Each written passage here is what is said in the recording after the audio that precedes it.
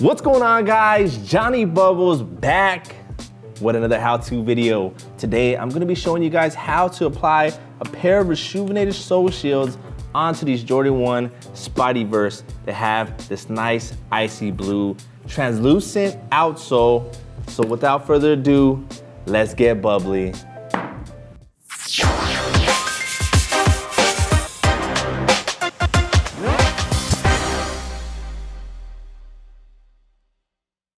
All right guys, before I get started, let me go ahead and tell you guys what a sole shield is. Because as some of you guys may know, I am the customer service manager here, so I get a lot of phone calls. People ask, yo, what's a sole shield, you know? So let me go ahead and just tell you guys what it is. Basically, what it is, is it's a film that goes on the bottom of your shoe. So let me go ahead and pull this out. And what it does is it keeps the outsoles looking super crispy. Now, for translucent outsoles like this one, you know how like sometimes you get like that yellowing, kind of like on 11s. 11s get that a lot because they have the icy bottoms. You'll get yellowing due to oxidation and wear, and that's just gonna happen over time. The Sole Shield will go ahead and prevent that from happening as long as it's on the shoe properly. But if it's not, you might have some spots that do get yellow. But no worries guys, for this video, I am only gonna be doing the left side and not the right, and then I'm gonna wear it for a while, and then I'll show you guys later on in this video a side-by-side -side comparison of what it looks like to have one on and have one off. Now moving on guys, that's just a quick brief what it does for you. The items that come in it are two films, one for the left, one for the right. And these do fit up to about a size 13, guys. That's a question we get a lot too, is what size does it fit up to? It's about a size 13. Any larger than that, unfortunately, we don't have anything to protect it. So it's gonna be two of those. It's gonna come with two alcohol prep pads, and that's gonna be used to go ahead and prep the bottom of the sole before applying the shield. And then last but not least, it's gonna come with four traction pads. And what these allow you to do is get grip from the shoe because since it is a plastic film, it's slippery, but these traction pads will make sure that you're able to not slip and slide and you're okay to ride. But all right guys, that's the products that come inside Reshoevn8r's. Sole Shields, you can go ahead and make sure you find that at reshoevn8r.com. We have the link in the description below. So now I'm gonna go ahead and move this right shoe over to the side and get started. All right guys, so the items that you're gonna need for this social application are very simple. A heat gun, you don't need one this crazy um, but you can find one at your local hardware store for a few bucks. A pair of scissors and a pin and a towel. And the towel is just there so I can apply pressure so I don't burn my hand. But that's all you need for the Sole Shield application and obviously the Sole Shield itself. But the first step, guys, is to prep the outsole. Even though this shoe is dead stock, it still has a little bit of like, you know, residue on it and stuff from the factory. So you wanna go ahead and take out the prep pad and just make sure you have a thorough cleaning on the entire outsole.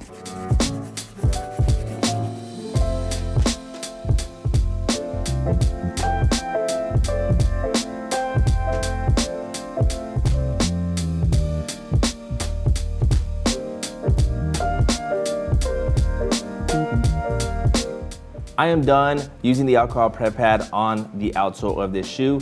Now, if you're wondering if you could apply sole shields to a pair that was already worn, yes you can, but you wanna make sure you clean the outsole with our advanced sneaker cleaning solution and a stiff brush. Make sure you get it as clean as possible, let it dry, and then you'll move on to the next step, which I'm gonna show you now is tracing onto the sole shield film itself. So what you're gonna wanna do is take the glossy side and put it face down. There is a matte side and a glossy side. You want the matte side facing up so you can go ahead and trace on it. I'm gonna go ahead and put it almost in the center as much as possible. Now I'm gonna take my pen here and I'm gonna trace. Now you can start wherever you want, the middle, the front, the back. I always just start at the toe box. It's just easiest for me and I just go around the shoe.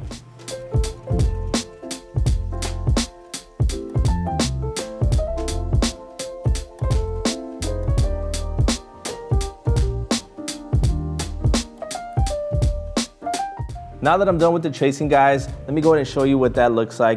You don't have to be perfect, so don't worry if it doesn't align on the toe box. Not sure if you can see that so much on the camera, but you don't have to be perfect. Just make sure you go ahead and get around the entire shoe. Now, the next step is gonna be cutting the trace line. Now, there's two ways that you can do this. You can either cut on the inside of the trace line, which is gonna be here on the inside or on the outside. The main difference with that guys is real simple. If you cut, if you cut on the outside line, it's gonna come up higher on the midsole. I personally like that. It creates a better hold and just allows dirt to not come into the sole. Uh, but if you didn't want to show it or you didn't want to protect a little bit of the midsole, you can cut on the inside of the trace line and that'll be a perfect like shield on the bottom and it won't come up at all. So I'm gonna go ahead and show you guys the way I like to do it, which as I mentioned is on the outside of the trace line.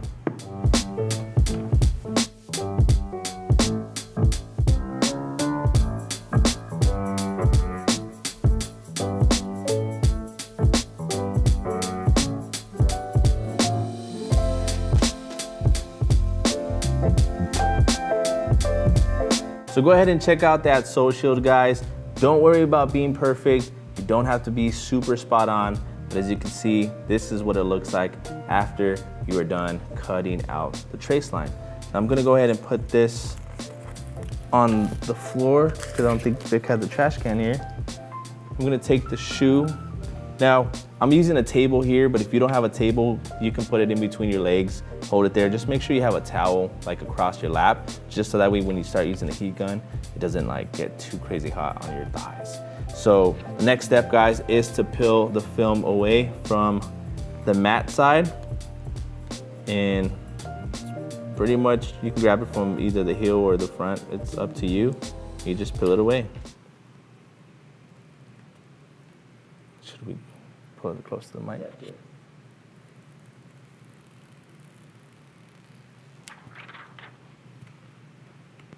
Few weirdos out there that like that sound.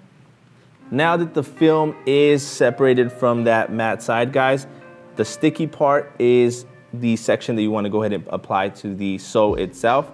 I always like to start with the heel and then move forward to the toe. So I go ahead and just line it up. Now you don't have to be perfect here, guys, because you're not applying heat and you're not applying pressure. So you want to just make sure you line it up to wherever you want it. So move this back. I tend to get a lot of heel drag, so I would put the film a little bit more back than in front of the toe, just because as I mentioned, I drag my feet a lot. Put that up there. You see it's a little too much.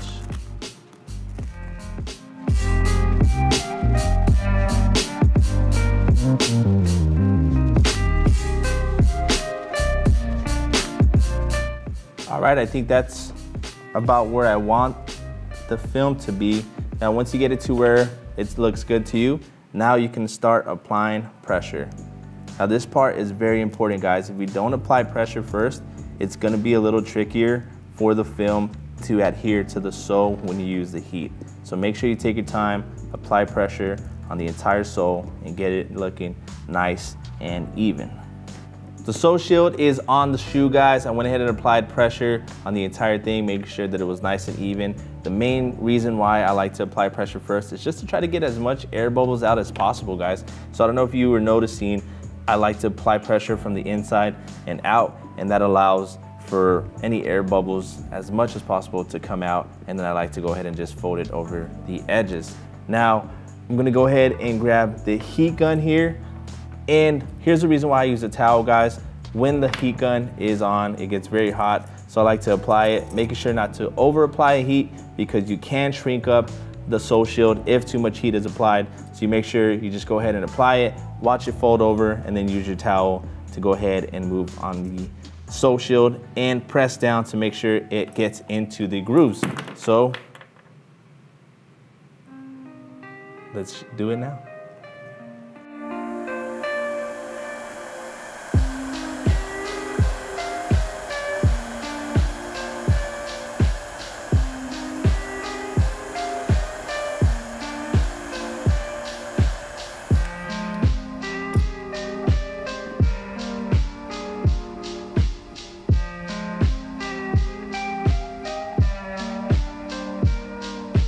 Real quick tip guys, as you can see, when I am applying pressure with the towel, you wanna make sure you just either push down or do this like rolling action. You never wanna pull when the Sole Shield is hot. You can um, tear it if you are too rough on it. So just make sure you do a little nice roll motion outwards from the inside out or just push down the pressure, never pull.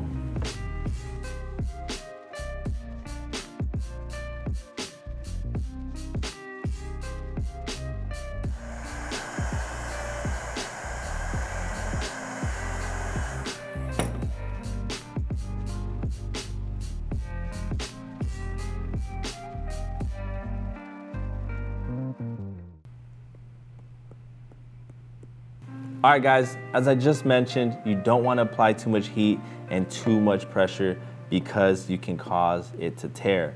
Now, I'm not sure if the camera can go ahead and pick it up, but right here in this section, I applied too much heat and too much pressure. So when I pushed down, it got stuck to the towel. And when I pulled up, it tore it. Now, this is why you wanna be extremely careful don't over apply heat and don't over apply pressure. Now I'm not too worried guys because I am gonna put a traction pad over this section here, which the traction pad will go ahead and cover it, but just be careful in the future. Thanks guys. Let's continue putting some heat on the rest of the shoe.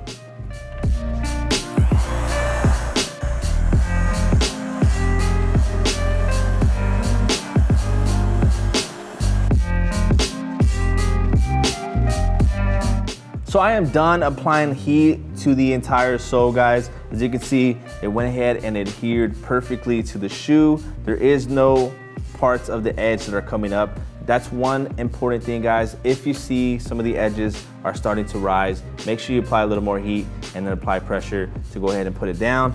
This one looks pretty spot on, guys, but once again, that's because I'm a professional.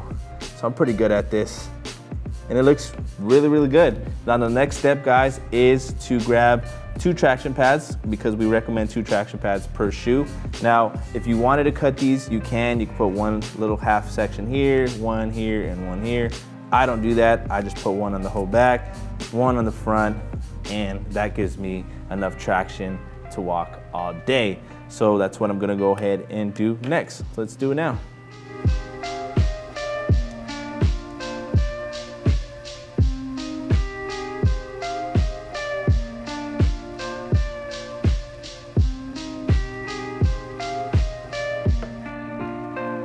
Right guys, so as I mentioned before, uh, there was a hole right here and I wasn't too worried because of the traction pad. Go ahead and check that out. The hole is now covered with that traction pad.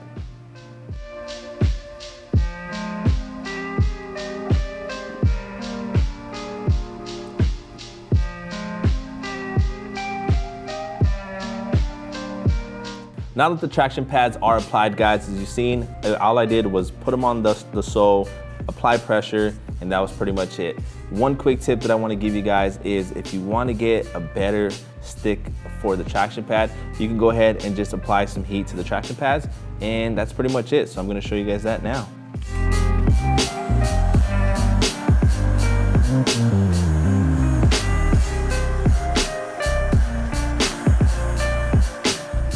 That's gonna go ahead and wrap it up guys for this Sole Shield application. Let me show you guys what it looks like side by side. Remember, this is the one I applied it to, and this is the one that I did not. Now, I am gonna wear both shoes, guys, and show you guys what it looks like in just a little bit.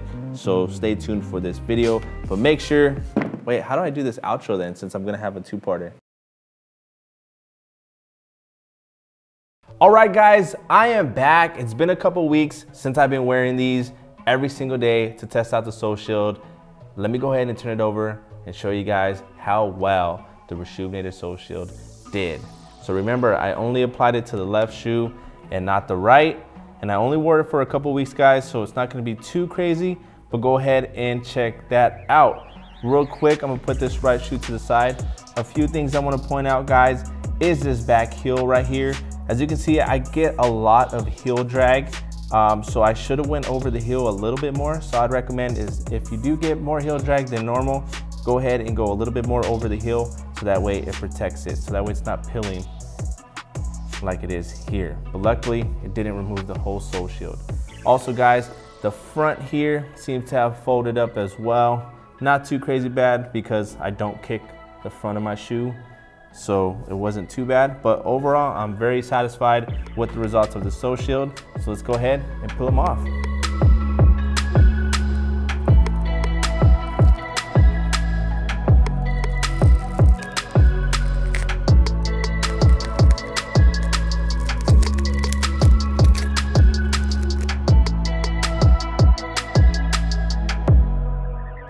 So there it is guys, I went ahead and pulled off the sole shield and as you can see, the bottom is still looking super icy besides the part that peeled over here in this back heel and a little bit on that toe box or toe cap here. Now real quick guys, a lot of questions that I get on the customer service side is, does the sole shield leave residue?